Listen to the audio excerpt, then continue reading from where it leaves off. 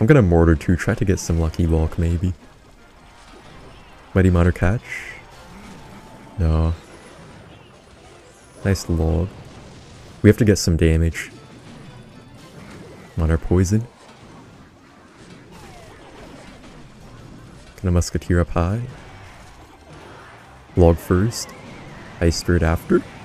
Please. Poison. Let's go. Let's go.